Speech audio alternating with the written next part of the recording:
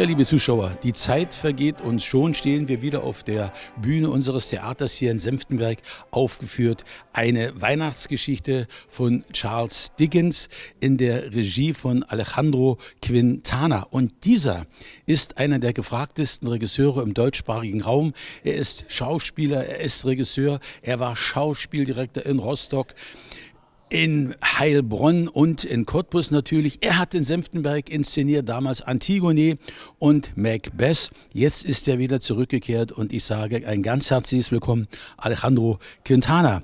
Eine schöne Rückkehr, eine Rückkehr, die du gerne gemacht hast? Unbedingt, eine freiwillige auf alle Fälle.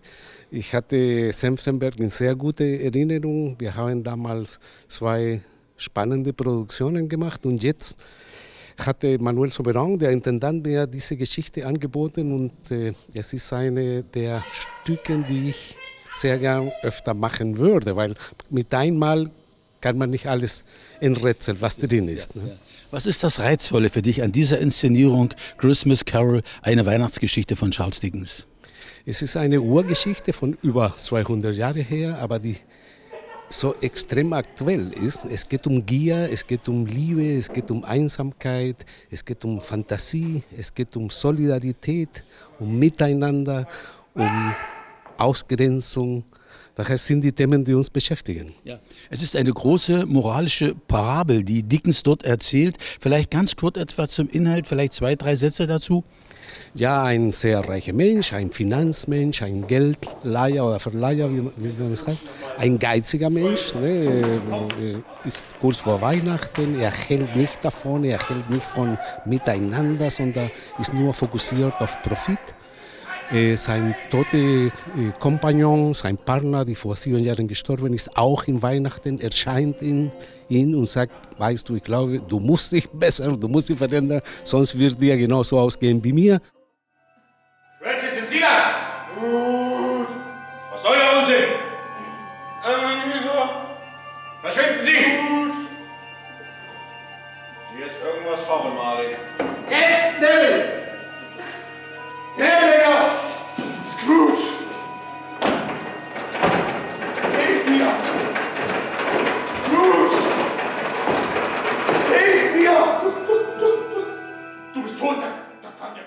Und er leidet sehr natürlich, befindet sich in einem Golgotha-Weg sozusagen und äh, dass drei Geister ihn besuchen werden und er hätte die Chance, über sein Leben nachzudenken. Ne? Und das ist ein gefundenes Fressen für Theater, weil drei Geister sind drei verschiedene Haltungen und wir, ist, wir erleben eine Art Läuterung, Weg, eine deformierte Mensch. Es ist also, wenn auch Charles Dickens sagt, eine Weihnachtsgeschichte, ist es ja doch ein Stück Weihnachtsmärchen.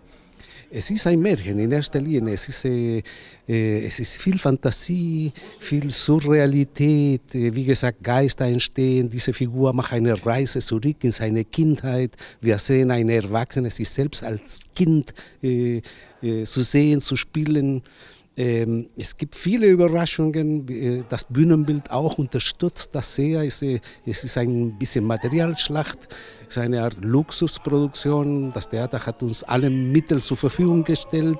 Wir, wir haben sogar einen Komponist, ja, was heutzutage nicht mehr gängig ist. Äh, Benjamin Ritz, ein sehr junger äh, Musiker. Darauf würde ich gleich mit dir zu sprechen kommen, Alejandro. Äh, ich will nur sagen, das Stück ist also von hoher Aktualität. Welches Alter sollte dieses Stück besuchen oder ab welchem Alter können die Kinder hierher kommen oder auch Erwachsene? Es ist eine Fa- Familienvorstellung ab sechs Jahren. Ne? Die Kinder brauchen schon ein bisschen so einen Überblick so über unsere Welt, die Welt der Ausländer, äh, der Erwachsene, meine ich. Die anderen, ja, die anderen, die waren es. Was geht dich das an, ob jemandem geholfen wird? Hilfe. Warum solltest ausgerechnet du dich für jemanden einsetzen? Schließlich gibt es doch immer noch Gefängnisse. Du hast es gerade angesprochen, es ist extra ein Komponist dafür engagiert worden. Ja, Benjamin Ritz, sein Kollege aus Dresden, der auch hier in Senftenberg äh, öfter gearbeitet hat. Und das ist auch ein Geschenk, ne? wenn du selber, sagen wir, die Musik besonders für das, was du dir vorstellst, mit Schauspieler komponiert wird. Das ist wunderbar. Aber die Musik ist dann auch letztendlich nur ein Teil davon, denn das zweite ist natürlich dieses großartige Bühnenbild. Ja, da hatte ich äh, das Glück, Andrea Eisensee zu gewinnen. Sie ist eine sehr erfahrene Bühnenbildnerin, mit der wir in verschiedenen Theatern schon gearbeitet haben. Sie macht viel Musiktheater. Das Stück braucht auch so ein bisschen, äh, wie nennt man das, eine gewisse Opulenz. Ne? Und ich glaube, wir sind sehr nah, das zu kommen an die Vorstellung, die wir hatten. Ich kann dir sagen, es geht ein großes Raunen, eine große Begeisterung deiner Inszenierung voraus. Alle, die schon mal reinschauen durften, kommen raus mit offenen Mündern und sagen, Wahnsinn, toll, was Alejandro Quintana da gemacht hat.